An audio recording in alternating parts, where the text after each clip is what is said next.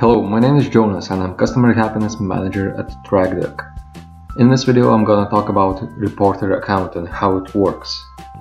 So let's say you got invitation to TrackDuck from your web developers. All you need to do is to hit accept invitation and you will be taken to TrackDuck registration page. Here you put your personal details, hit accept invitation or if you are already registered, just hit login and enter your personal details. After that, you're gonna be taken to your dashboard. Here you can see the first task that I created beforehand. If you want to create a new task, all you need to do is to navigate to Add New Task, hit your web page, in this case it's the demo page, and you will be taken there. After that, you hit the plus button, select an area, write a comment, and the comment will be sent to your developers straight away. You can also see the comments that you left beforehand. So in this case I left a comment here and as you can see you can also see the comments that are left by your teammates. So in this case Steve just replied comment. You can leave as many tasks as you want to.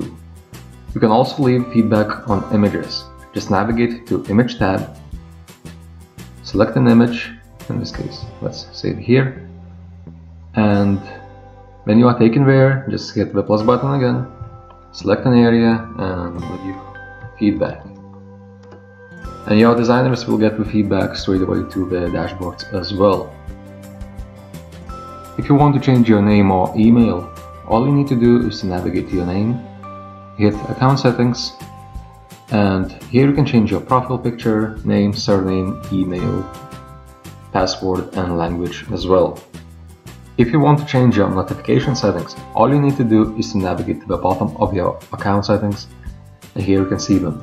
You can be notified on task updates, so basically you can get notifications on comments that are left on your tasks. You can turn them on or off.